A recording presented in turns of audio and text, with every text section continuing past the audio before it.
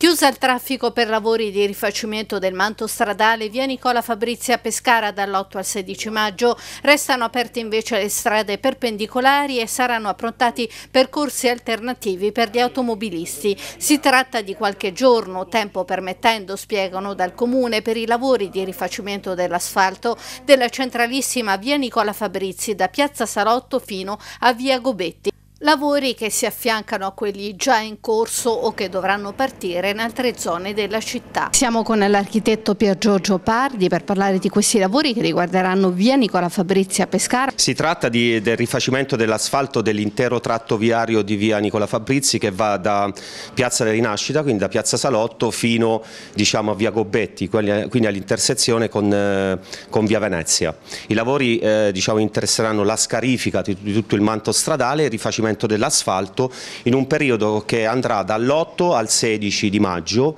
eh, su un intervento molto importante che da circa 15 anni non veniva operato su questo da, eh, tratto viario cercando di eh, arrecare meno problemi alla cittadinanza alla viabilità e tutta l'organizzazione del traffico